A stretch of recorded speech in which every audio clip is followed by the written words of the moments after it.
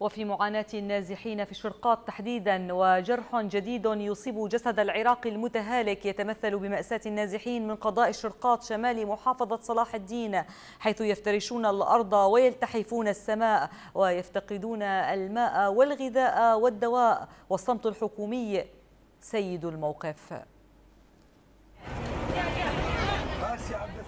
مدينة تلو أخرى يقع أبناؤها فريسة للإهمال الحكومي وجرائم الميليشيات الطائفية وتنظيم داعش. أهل شرقاط جرح العراق الجديد يبدأون رحلة معاناة مجهولة المصير في مخيمات النزوح. آلاف النازحين فروا من جحيم الموت إلى موت آخر. لم يجدوا إلى الآن سقفا يأويهم من حر الصيف. يواجهون اليوم كارثة إنسانية حقيقية ويعانون أوضاعا إنسانية صعبة.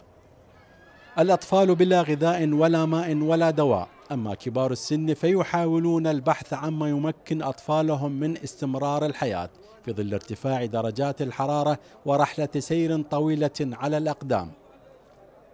الإهمال الحكومي في إنقاذ هذه الأرواح البرية أصبح ضربا من الخيال.